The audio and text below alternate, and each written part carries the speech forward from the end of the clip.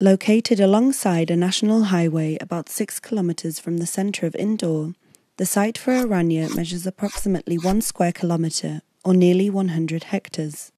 Designed as a mixed use township, Aranya is planned with the location of a town centre at the heart of its site, linear in form in the tradition of a typical Indian bazaar.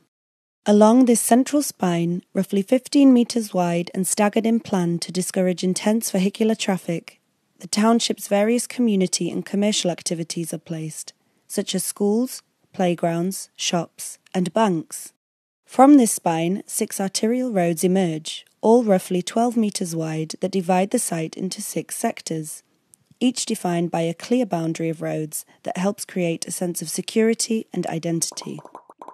Designed to accommodate between 7,000 and 12,000 inhabitants, each of these sectors contain a mix of income groups that range from economically weaker section to middle income group plots, with the exception for Sector 6 at the southeast corner that was earmarked for higher income groups.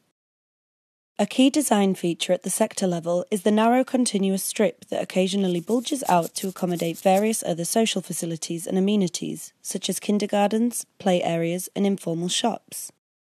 Each of these community spaces is combined with open spaces to allow for multiple and intense uses of land and are planned to encourage and sustain a viable community.